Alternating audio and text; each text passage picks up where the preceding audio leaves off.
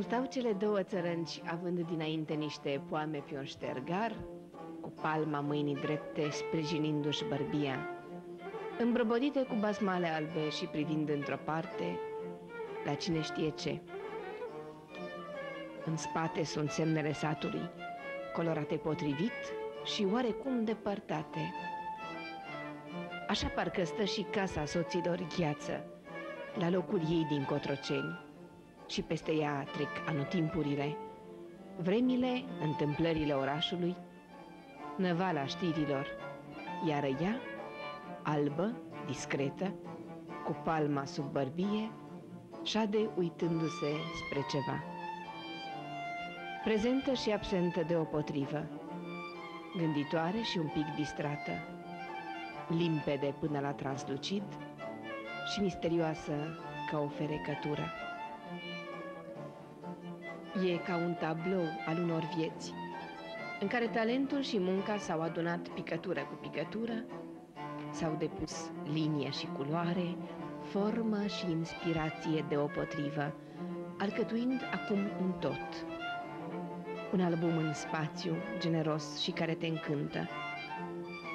Picturile lui Dimitrie Gheață, șevaletul, pasta uscată care îți spune că artistul e vai plecat, pălăria de peisagist, uneltele, dedicațiile, crochiurile, apoi tapizeriile și miniaturile doamnei Aurelia, războiul de țesut, mobilele tăcute, covoarele care adună urma pașilor lor, totul însemnând mai mult decât un muzeu, însemnând un mod de viață, un chip de a trăi arta genuin, prin acea somație unică a talentului înăscut.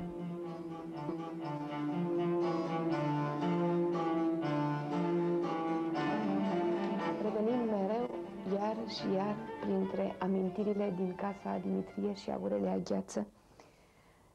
Răsfoiam aceste albume, doamnă Marina Preutu, și această carte pe care cu atâta dragoste ați închinat-o memoriei pictorului Dimitrie Gheață și am văzut multe fotografii de ale dumneavoastră împreună cu cei doi. Cred că le priviți cu emoție de fiecare dată când deschideți această carte, nu? Da, e adevărat. Le privesc cu emoție și am aceeași emoție de câte ori intru în această casă, pentru că o bună parte din viața mea s-a petrecut în acest interior. Am locuit mulți ani aici, alături de de Dimitrie da. și Aurelia Gheața, alături de ei, am văzut lucrând, i-am auzit vorbind, am făcut Cum vacanțe lucrau? împreună. Cum lucrau? Cum își împărțeau spațiu?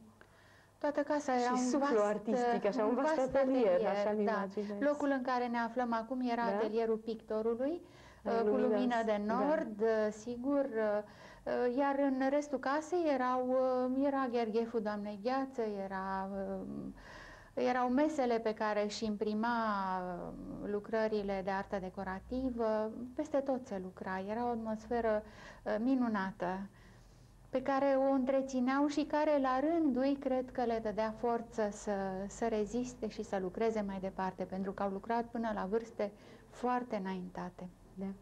Am observat faptul că pictorul Gheață s-a bucurat de aprecierea unor mari nume ale esteticii contemporane și criticii de artă contemporane. Însuși Fosion scria despre el absolut superb câteva cuvinte pe care le-ați spus Are pe pagina Fosion de... l-a cunoscut foarte bine, de altfel, Unde? a Unde? poposit în acest atelier. Fosion a venit în România, era prieten cu profesorul Oprescu, uh, vecinul nostru, Da. și a venit uh, în acest atelier, l-a cunoscut pe Gheață, i-a cumpărat lucrări, două lucrări ale lui Gheață sunt la uh, muzeul din Lyon și alte lucrări la Jeu de Pomme.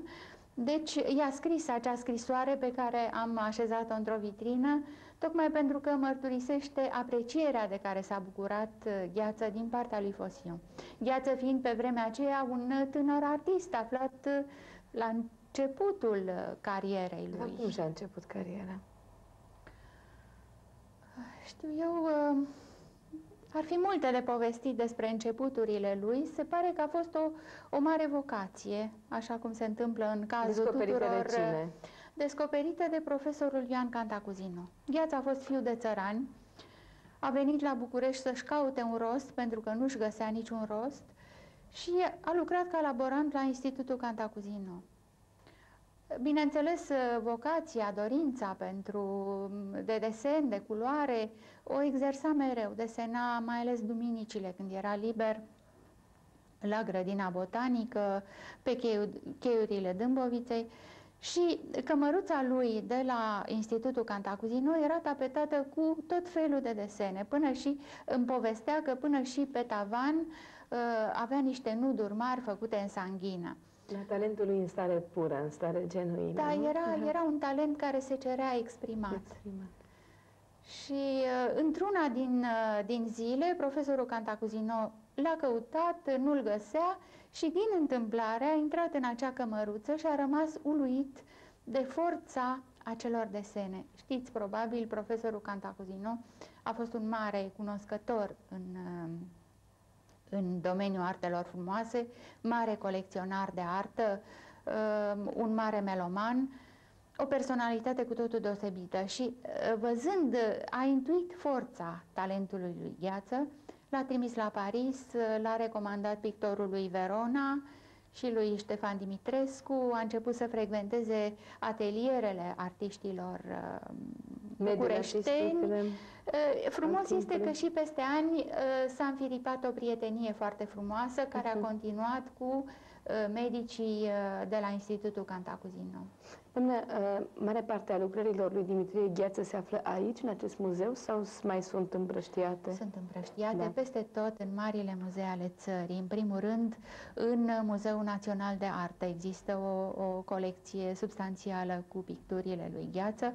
Noi suntem... Că ați uh, adus vorba da. despre Muzeul Național de Artă, cum să spun, cere și o explicație.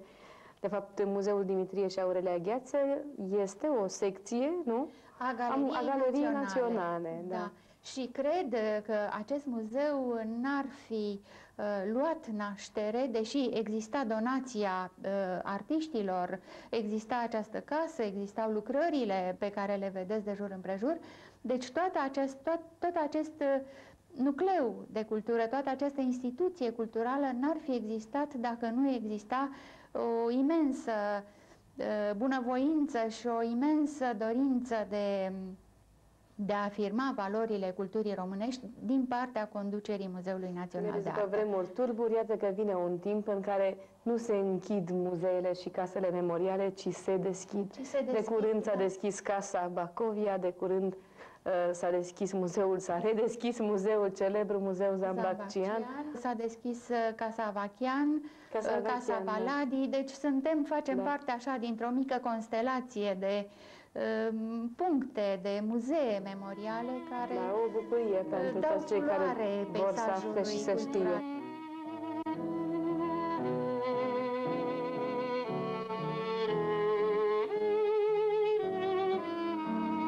Casa Gheață are în culorile și în cotloanele ei acel ceva profund românesc. Fără a fi declarativă, pictura lui Dimitrie Gheață este limpede și esențializată, apropiindu-și temele satului, civilizației românești, sugestiile simple, dar care înseamnă drumul către profunzime. Mi-au rămas în minte cuvintele unui scriitor despre Dimitrie Gheață. N-a avut pe lume decât culorile, iar pe acestea le-a dăruit tuturor până la urmă și casa.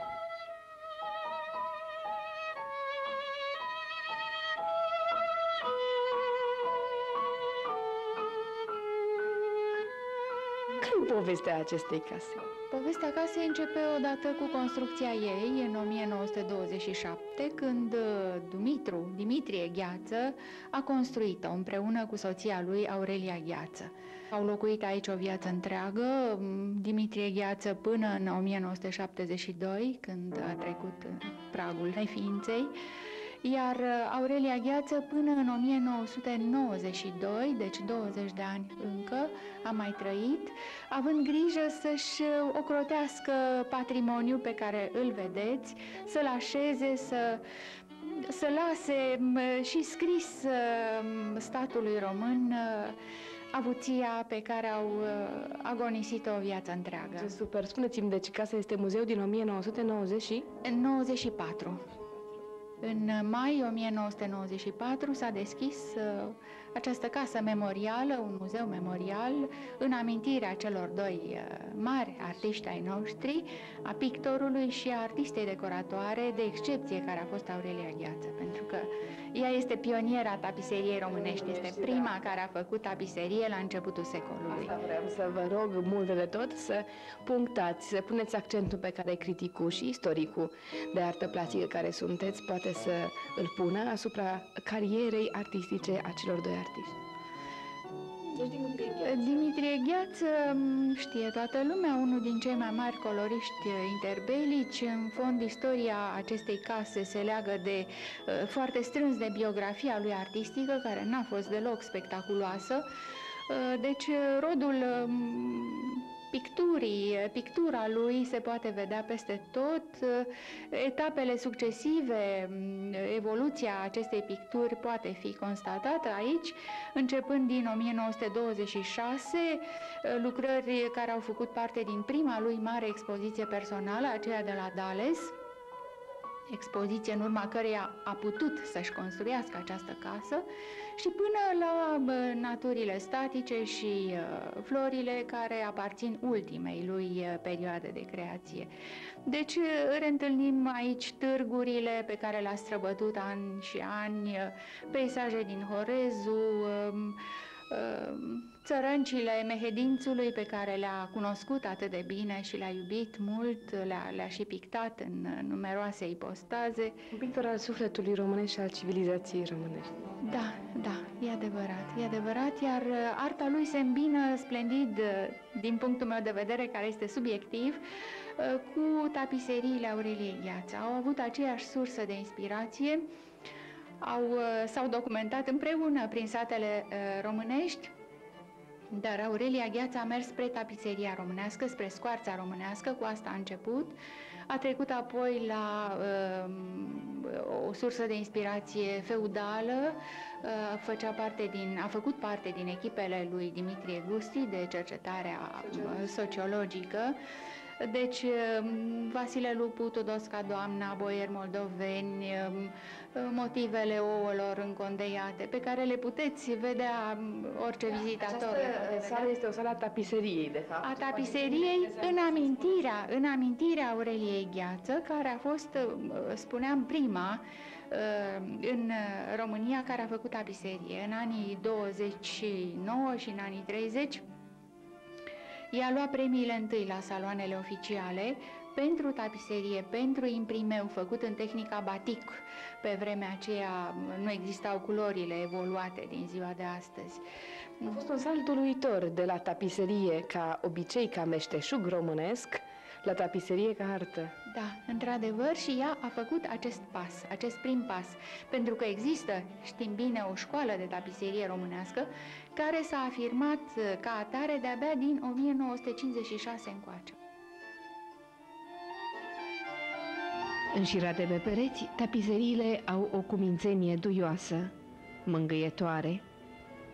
Căldura culorilor și căldura lânii, sutele de mii de noduri și semne, cum ar fi spus poetul, trimiterile la semnele arhetipale românești. Totul înseamnă împreună o străveche meserie ridicată cu trudă și vocație pe o culme artistică.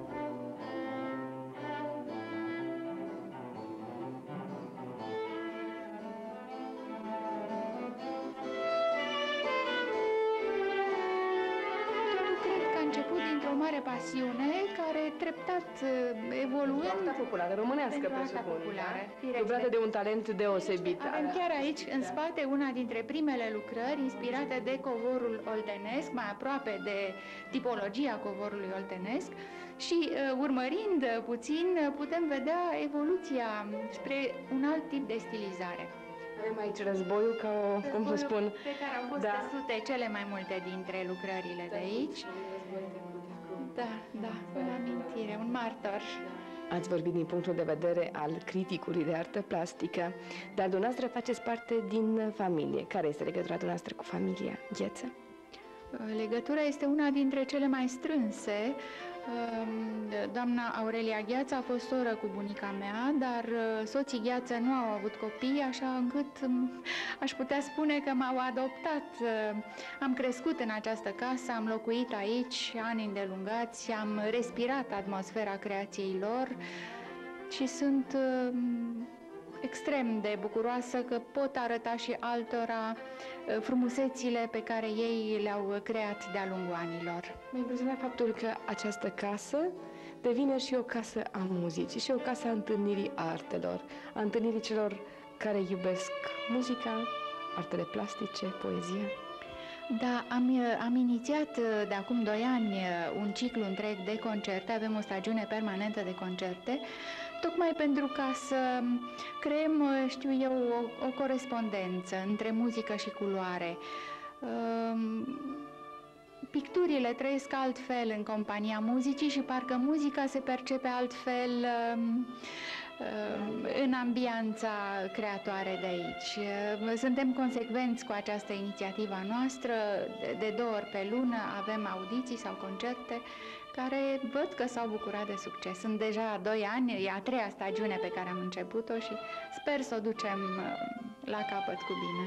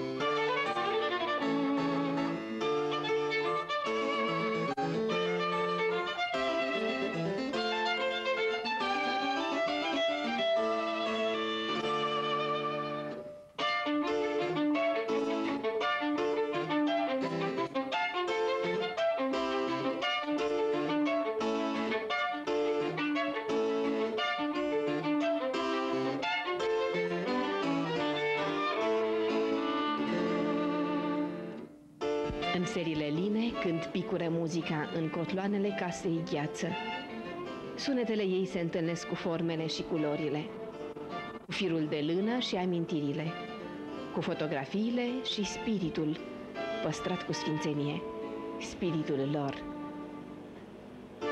Parcă totul mărturisește o așteptare blândă pe locul întâlnirii artelor.